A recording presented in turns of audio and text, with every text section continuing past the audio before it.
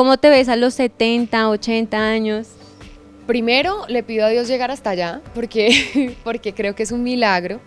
Y me veo con nietos, por favor. Quiero nietos, por favor.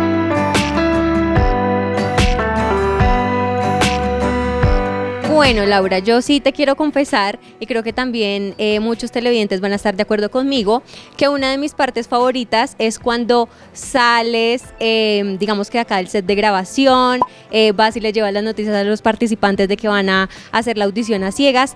¿Cuál es de pronto ese momento que tú recuerdes, sin hacer mucho spoiler, que te emocionó más? Pues yo creo que es difícil escoger uno, ¿sabes? Porque todos tienen unas historias tan particulares y tan especiales que, que definitivamente la, muchas veces la incredulidad, como que desde verdad que pasé, o, de pronto hay personas que ni siquiera, ni siquiera, o sea, como que hicieron la vuelta, pero pues nunca pensaron que de verdad iba a pasar.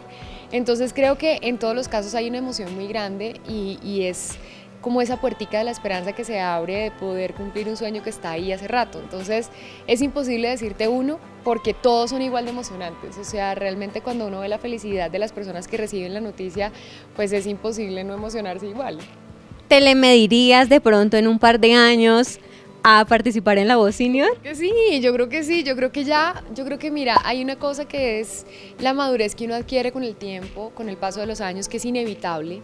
Entonces, cuando yo te veo a ti así, toda chiquita y toda joven, yo digo, pucha, uno aprende mucho con el tiempo, ¿sabes? Y va cambiando como percepciones, y va cambiando formas de ser, y va cambiando prioridades. Y yo creo que, eh, pues en este momento yo tengo dos chiquiticas muy claras, eh, y por eso digamos que uno se enfoca mucho más, pero en algún momento de la vida yo sí quisiera como como hacer esa, eso que he dejado de hacer, no sé si cantar específicamente, pero sí eso que he dejado de hacer por, por tener otras responsabilidades, que es básicamente el común denominador de toda la gente o de la mayoría de la gente que llega a la voz senior. ¿Con qué canción lo harías? Yo no sé, porque ahora está difícil escoger. Ahorita estamos viendo canciones súper románticas, son canciones con letras muy lindas. Yo no sé si va a tener esa posibilidad cuando me presente, eh, pero sí quisiera una que lleve un mensaje de esperanza, de cosas bonitas eh, y que lleve un poco la bandera de lo que es este programa y es que que no dejemos apagar esos sueños que están ahí desde siempre. Laura, esta es una pregunta inspiradora, de pronto reflexiva. ¿Cómo te ves a los 70, 80 años? Primero, le pido a Dios llegar hasta allá, porque, porque creo que es un milagro. Y me veo con nietos, por favor. Quiero nietos, por favor. Este, me veo viendo a mis hijos realizados, ¿sabes? Eh, siendo profesionales, así como tú los veo grandes, los veo ya con su vida resuelta porque yo creo que pues para mí que son mi motor principal y son pues en, mi escala de prioridades el número uno, pues creo que ese, ese es mi más grande sueño. Verme ya consintiendo, pudiendo hacer todo lo que hacen mis papás hoy en día.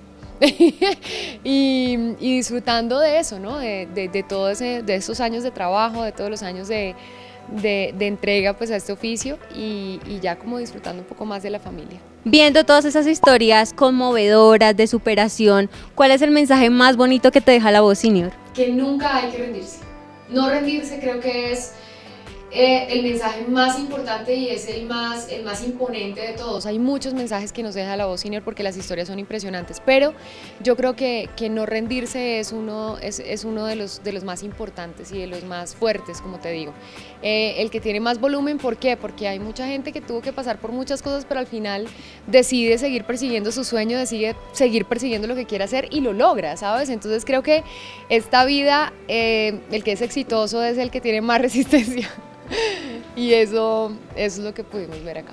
Laura, una invitación a los seguidores de caracoltv.com para que no se pierdan la voz senior. Hola, soy Laura Cuña y esta es una invitación para que todos los seguidores de caracoltv.com no se pierdan la voz senior, que van a pasar buenísimo, que van a estar muy bien, pero además van a cantar y a divertirse, que es lo más importante.